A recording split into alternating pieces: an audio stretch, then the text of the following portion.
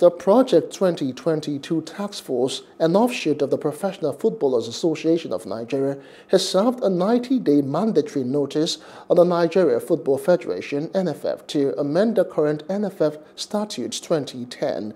The task force gave the order in a statement signed by the task force chairman Harrison Jalla. Secretary Adema Falodu and members after a news briefing on Sunday in Warri. The meeting demanded the amendment to reflect the composition of the NFF Congress, composition of the Executive Committee of the NFF, among others.